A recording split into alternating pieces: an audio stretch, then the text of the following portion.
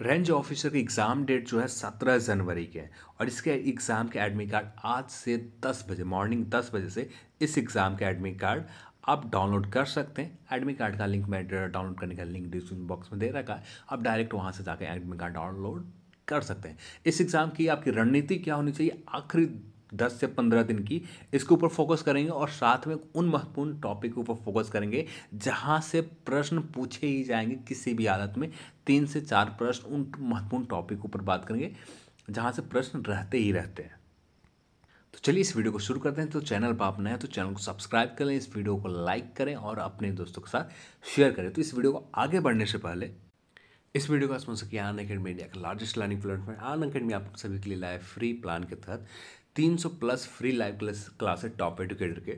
Weekly free mock test, बीस हज़ार plus M C Qs, T twenty free live quizzes रोज़ाना रात आठ बजे। इन्हें एक्सेस करने के लिए बहुत ही आसान आपको गोल सेलेक्ट करना है अन अकेडमी के ऊपर। गोल सेलेक्ट करने के बाद आपको रेफर कोड मांगे जाएँगे। इन रेफर कोड को educate academy one zero refer code का इस्तेमाल करेंगे, जिसके बाद इन फ्री क्लासेस को एक्सेस यदि आपने सेसेटरी बीपीएससी प्री एग्ज़ाम दे रखा है, आप प्रिपरेशन करना चाहते हैं मेंस की राइटिंग प्रैक्टिस करना चाहते हैं तो अन अकेडमी लेकर आया है। साठ दिन के बीपीएससी मेंस राइटिंग प्रैक्टिस चार जनवरी से बैचेज स्टार्ट हो रहे हैं GS paper one GS paper two और ऑप्शनल सब्जेक्ट के प्रैक्टिस करवाए जाएँगे। साथ में करंट अफेयर्स के ऊपर भी अलग से बैचेज होंगे, जिससे आप मेन्स राइटिंग प्रैक्टिस बेहतर तरीके से कर सकें। ये टॉप एडुकेटर हैं, सर, सी सन सर, झा सर, इन टॉप एडुकेटर के मार्गदर्शन में आप अपना प्रिपरेशन आगे बढ़ा सकते हैं। और बैचेज जो है, हिंदी और अंग्रेज़ी दोनों भाषाओं में उपलब्ध है। और सब्सक्रिप्शन भी लेना बहुत आसान है। आपको सिर्फ़ गोल सेलेक्ट करना है गोल सेलेक्ट करने के बाद आपको गेट सब्सक्रिप्शन के ऊपर आ जाना है। और इसके बाद इन प्लान में से कोई प्लान सेलेक्ट करने के बाद एडुकेट अकेडमी रेफर कोड का इस्तेमाल करना है, जिसके बाद प्रोसीड टू पे कर देने। आप आसानी से सब्सक्रिप्शन ले सकते हैं, जिसका लिंक मैं डिस्क्रिप्शन बॉक्स में दे रखा है। आप जाकर विज़िट करें। रेंज ऑफिसर ऑफ़ फॉरेस्ट की पदों की नियुक्ति के ऊपर चयन प्रक्रिया के ऊपर बात करें तो सबसे पहले लिखित परीक्षा होंगे, जो सत्रह जनवरी को आपको लिखित परीक्षा लिए जाएँगे। उसके बाद बात करें तो इंटरव्यू लिए जाएँगे कुछ नंबर के। उसके बाद आपको शारीरिक सामर्थ्य परीक्षण की जाएगी, यानी फ़िज़िकल टेस्ट लिए जाएँगे। तो यहाँ पर लिखित परीक्षा में यदि एक तरह से कह सकते हैं, एक तरह से ये मेंस एग्ज़ाम है। तो बिहार के एस आई मेन्स एग्ज़ाम से और यहाँ पर इस एग्ज़ाम से कितना डिफरेंस है? दोनों एग्ज़ाम में थोड़ा सा डिफरेंस आपको नज़र आएगा। यहाँ पर इस एग्ज़ाम में जो नंबर ऑफ़ स्कोर है, जो ज़्यादा दिए जाते हैं, वहाँ पर स्कोर कितने दिए? यहाँ पर नेगेटिव मार्किंग टोटल नंबर आपको थ्री हंड्रेड स्कोर दिए जाएँगे। एक सही करने पर तीन अंक दिए जाएँगे, जबकि वहाँ पर उस एग्ज़ाम में, बिहार एसआई के मेंस एग्ज़ाम में आपको दो अंक दिए जाते हैं। हिंदी में वैसा ही प्रथम पद हिंदी में देखें तो यहाँ पर आपको एक घंटे समय दिए जाएँगे, पचास प्रश्न होंगे। प्रथम पत्र में एक घंटे समय दिए जाएँगे, पचास प्रश्न होंगे, न्यूनतम तीस प्रतिशत अंक लाना ज़रूरी है। और हिंदी के लिए भी आपको प्रत्येक गलत प्रश्न पर ज़ीरो पॉइंट दो अंक काट लिए जाते हैं। तो यहाँ पर प्रत्येक गलत पर ज़ीरो पॉइंट टू अंक काट लिए जाते हैं इस एग्ज़ाम में भी। कुछ पैटर्न मेंस से बहुत अलग है। मेंस में जहाँ पर आपको सौ प्रश्न पूछे जाते थे, पर यहाँ पर सिर्फ़ पचास प्रश्न पूछे जाएँगे और इन्हीं पचास प्रश्न में से तीस परसेंट स्कोर करना बहुत ज़रूरी है। और टोटल अंक जो होंगे, एक प्रश्न दो नंबर का टोटल सौ अंक के प्रश्न होंगे। तो समान हिंदी प्राप्तांक में मेघा निर्धारण नहीं जोड़ा जाएगा, इसमें मेरिट लिस्ट में कोई काम नहीं आता। ये सिर्फ़ क्वालिफाइंग नेचर के तो इसके ऊपर यदि बात करें हिंदी के ऊपर के लिए तो हिंदी के लिए अब भी ज़्यादा समय नहीं है तो लुसेंट हिंदी ग्रामर को फॉलो कर सकते हैं। उनमें से ही स्पेसिफिक कुछ टॉपिक बात करें, मुहावरे आप देख सकते हैं, उल्टा शब्द देख सकते हैं, एक शब्द के अनेक शब्द देख सकते हैं, पर्यावाची शब्द देख सकते हैं, समास संधि विच्छेद और सेंटेंस ये कुछ टॉपिक को स्पेशली आप देख सकते हैं। और आखिरी लाइन जो पेज में पढ़ते हैं, कुछ राइटर्स के नाम। बस इतना देख कर चले जाएँगे तो यहाँ से इन सेक्शन से ही आप आसानी से तीस परसेंट से ऊपर स्कोर कर सकते हैं। बहुत आसान पेपर होता है हिंदी का तो इतना मुश्किल काम नहीं है हिंदी पेपर का प्रिपरेशन करना। तो हिंदी के लिए कोई स्पेशल रणनीति की ज़रूरत नहीं है। यहाँ पर स्टार्ट अभी से भी करें। आप रोज़ाना एक घंटा समय देते हैं। रोज़ाना एक टॉपिक के ऊपर एक घंटा समय देते हैं। एग्ज़ाम आने से पहले आपका सारे टॉपिक अच्छे से कवर हो जाएँगे हिंदी का। तो हिंदी के लिए कोई स्पेशल प्लान ना बनाए। सिर्फ़ एक घंटा रोज़ाना दें, बहुत अच्छे से कवर हो जाएँगे। उसके बाद बात करें द्वितीय पत्र यानी पेपर टू में। पेपर टू में यहाँ पर एक्स्ट्रा क्या मिल जाता है? यानी बिहार एस आई मेन्स में देखें तो करंट अफेयर्स नहीं रहते, जबकि यहाँ पर इस एग्ज़ाम में आपको समान ज्ञान, समसामयिक मुद्दों से रिलेटेड प्रश्न पूछे जाएँगे। सबसे पहले बात करते सबसे इंपॉर्टेंट सेक्शन है। यहाँ से कितने प्रश्न रहेंगे? तो अप्रॉक्स आप मान के चल सकते हैं पंद्रह से बीस के आसपास प्रश्न पूछे जाएँगे। करंट अफेयर से 20 के आसपास या इससे ज़्यादा नंबर में प्रश्न हो सकते हैं, पर बैलेंस बनाने के लिए 20 प्रश्न बहुत ज़्यादा यहाँ पर। 20 के आसपास रहेंगे 20 से ज़्यादा यदि होते तो दो तीन ज़्यादा होंगे, इससे ज़्यादा नहीं रहेंगे। इसके लिए बुक की बात करें,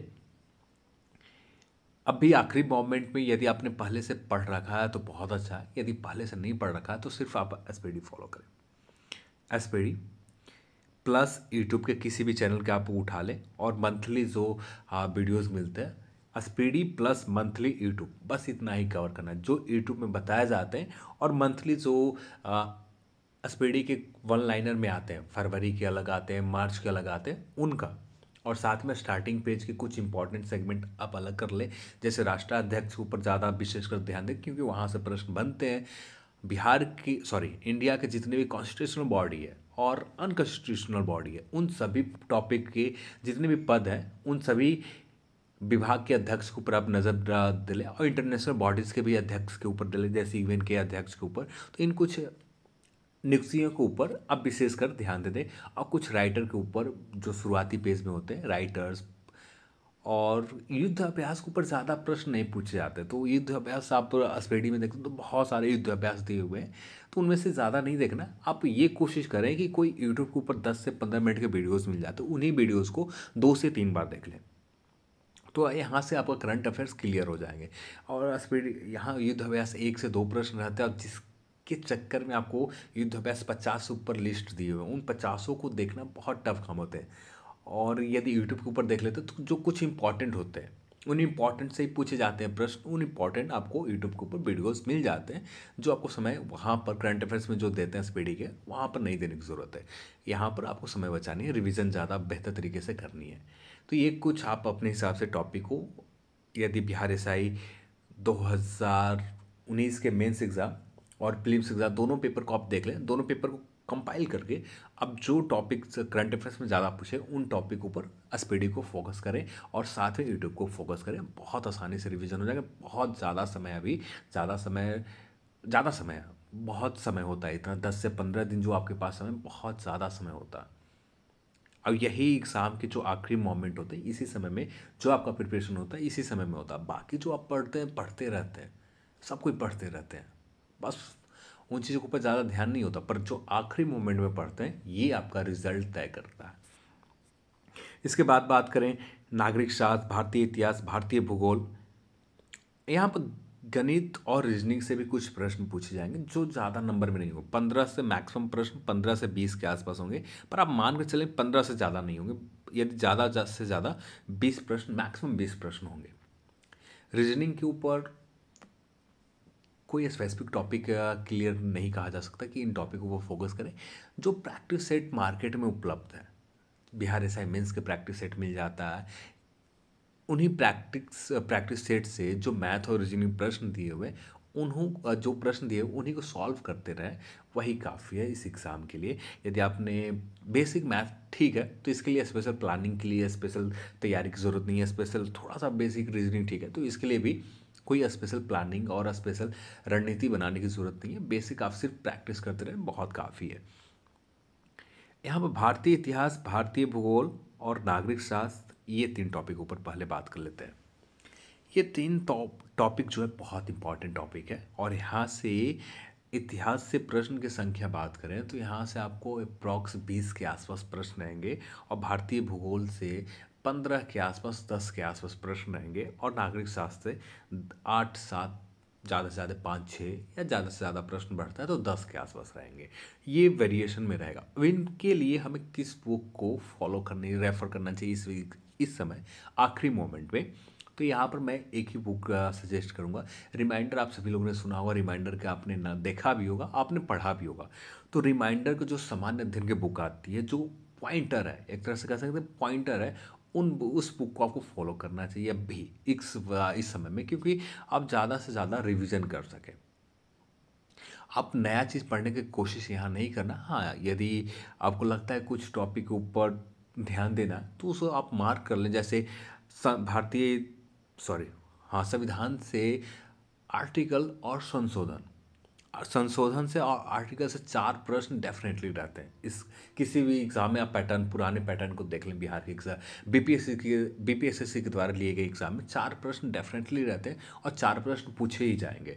तो लुसेंट निकालें आर्टिकल और संशोधन। ये जितनी बार हो सके, कम से कम एग्ज़ाम आता है तो दो बार रिविज़न कंप्लीट हो जानी चाहिए।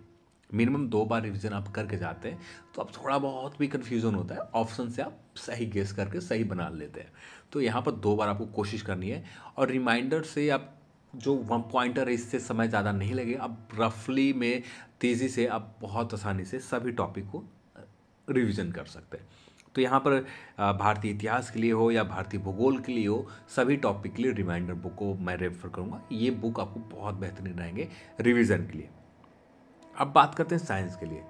तो साइंस के लिए यदि देखें फिजिक्स केमिस्ट्री और बायो तो तीन टॉपिक है। तो यहाँ पर यदि बात करें साइंस के लिए रिवीजन के लिए बुक की अभी क्या पढ़ना चाहिए तो यहाँ पर आप कोशिश ये करें, जो व्यवहारिक जीवन में आप रोज़ाना उन चीज़ों को प्रयोग करते हैं, उस तरह के प्रश्न ज़्यादा पूछे जाएँगे और मैक्सिमम प्रश्न उसी तरह के होते हैं।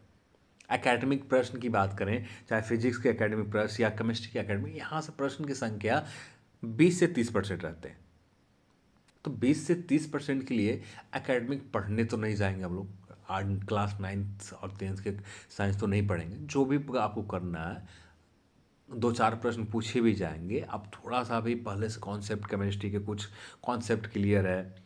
तो उतना मुश्किल नहीं हो। केमिस्ट्री से ज़्यादा नंबर प्रश्न में रहेंगे बायो से ज़्यादा रहेंगे। फिजिक्स से तीन चार के आसपास रहेंगे। बायो से बहुत ज़्यादा प्रश्न रहेंगे और केमिस्ट्री से बहुत ज़्यादा।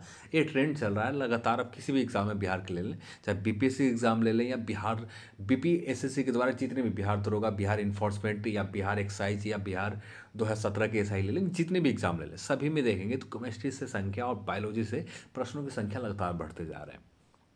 तो यहाँ पर आपको बायोलॉजी बायोलॉजी के ऊपर और केमिस्ट्री के ऊपर विशेष कर ध्यान देना है। फिजिक्स आप रफली रिमाइंडर से रिवीजन कर लें, क्योंकि जो भी प्रश्न पूछे जाएँगे फैक्चुअल प्रश्न आएँगे, व्यवहारिक जीवन में उपयोग होने वाली चीज़ों के ऊपर प्रश्न पूछे जाएँगे। आप रिमाइंडर को प्रीफर कर सकते हो और रिमाइंडर को भी कुछ सेलेक्टिव टॉपिक को आप प्रीफर करें। जैसे शुरुआती चैप्टर को आप स्पेशली प्रीफर करें और ज़्यादा बेहतरीन स्कोर आ जाएँगे यहाँ से भी। आप यदि बात करें कौन से टॉपिक को प्रीफर करनी चाहिए ज़्यादा? तो आप यहाँ पर दो हज़ार सत्रह के पेपर आपको यूट्यूब के ऊपर या गूगल के ऊपर आपको मिल जाएँगे और दो हज़ार उन्नीस के पेपर आप देख लें। एक बार देख लेंगे जिससे आपका एग्जैक्ट अनुमान लग जाएगा। फिजिक्स में आपको कौन से टॉपिक ऊपर ज़्यादा प्रीफर करनी चाहिए? तो फिजिक्स बायोलॉजी और केमिस्ट्री फिजिक्स के लिए रिमाइंडर के अलावा कुछ नहीं देखना। बायो के लिए भी रिमाइंडर के अलावा कुछ नहीं देखना देखना। क्योंकि अब जो भी प्रश्न पूछा जाए, व्यवहारिक प्रश्न पूछे जाते हैं आप थोड़ा सा भी आप एग्ज़ाम में परसेंट हंड्रेड परसेंट एग्ज़ाम में प्रेजेंट रहते हैं ना, बहुत आसानी से प्रश्न बायो के सॉल्व कर सकते हैं। बस जो मुश्किल आएँगे आपको केमिस्ट्री में मुश्किल आएँगे तो केमिस्ट्री के लिए थोड़ा सा आप मेहनत कर लेंगे।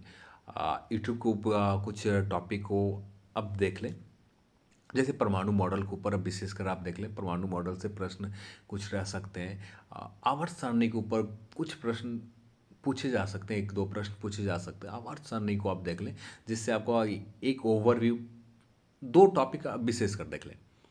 आवर्त सारणी और परमाणु मॉडल और विलियन देख लें बिलियन और ब्लैक देख लें। बस ये चार टॉपिक आप विशेष कर देख लें। और यहाँ से मैक्सिमम प्रश्न, जो भी प्रश्न यदि, जो कन्फ्यूज़न जो कॉम्प्लिकेटेड और जो ज़्यादा दिक्कत करते यही चार सेक्शन से ज़्यादा दिक्कत करते हैं। यहाँ पर यदि कॉन्सेप्ट आपका क्लियर है तो उतना दिक्कत नहीं होगी। आपके कॉन्सेप्ट क्लियर नहीं है तो कितना भी आप रट्टा मार लें, यहाँ से आप मैक्सिमम प्रश्न को सही नहीं कर सकते।